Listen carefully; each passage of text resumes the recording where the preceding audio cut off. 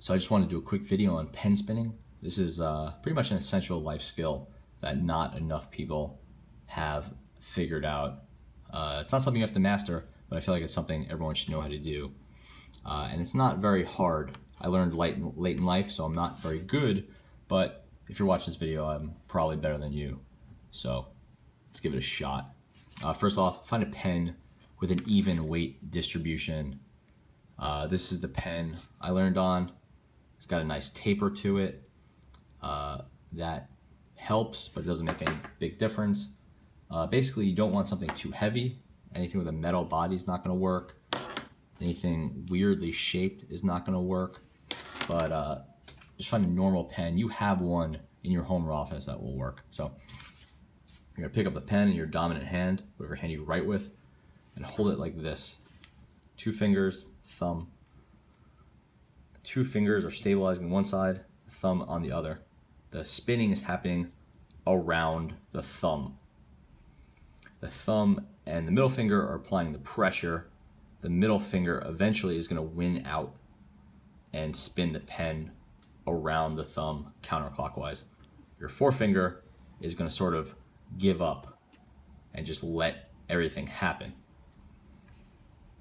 So again, here's in slow motion.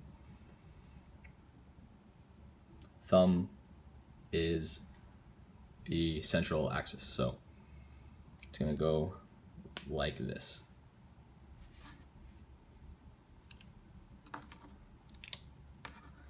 Again, I'm not very good at it, but you could see there's a definite spinning action.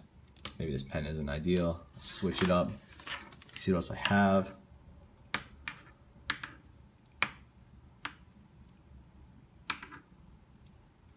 Pen is ending up in the same direction it started, but usually its position in your hand will change.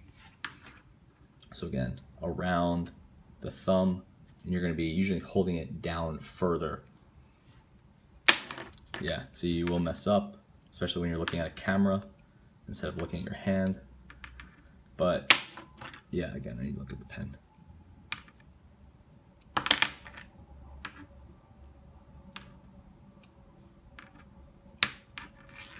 See if I find a different pen.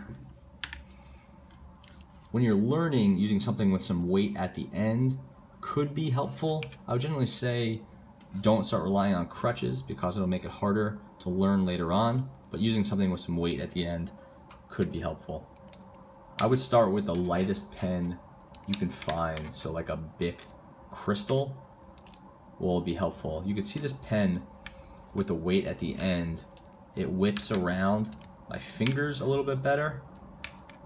It's definitely easier to use than the other ones I have. So finding the right pen will help. And again,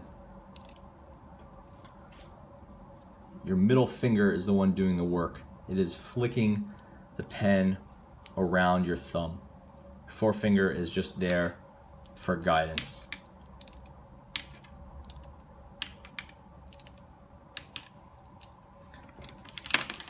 There's a pen. This one is probably a little bit too heavy on that end.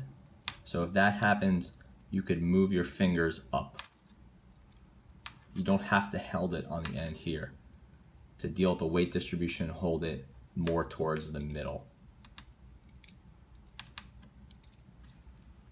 See if I can change angle and not send the pen flying. I'll try some slow motion at the end. I think I have harnessed that technology. And again, you can do it with dumb looking pens and weird pens, but just, yeah, maybe not. It gets a lot harder.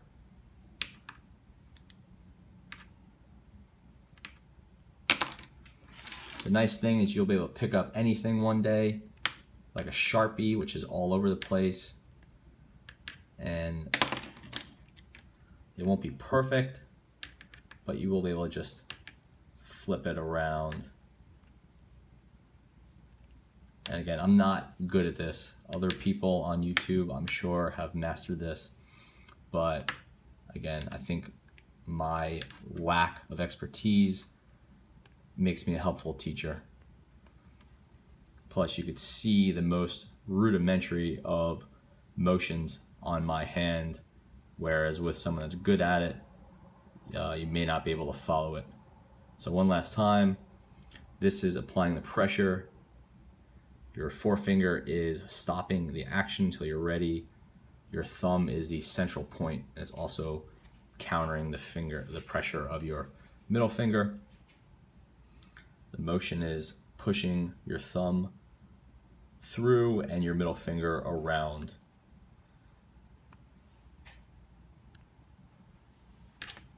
This is the grip from one side, the grip from the other side, and just wrap it around your thumb. So yeah, hope that helps a little bit. Uh, let me know in the comments if you have any tips. Thanks for watching.